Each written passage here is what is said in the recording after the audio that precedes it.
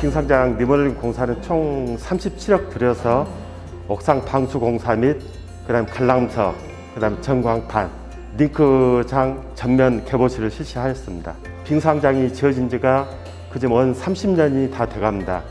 그동안 계속해서 이제 옥상에 이렇게 누수 같은 현상이 발생해서 이번 계기로 해가지고 그 스케이트 타는데 아무런 지장이 없게끔 한데 아직 회원들이 전적으로 찬성하고 있습니다. 또한 또 시설을 또 새로 개보수했기 때문에 그 환경에 대해서 아주 그 새로 오신 분들 한해서는 너무 좋게 생각하고 믿고 있습니다.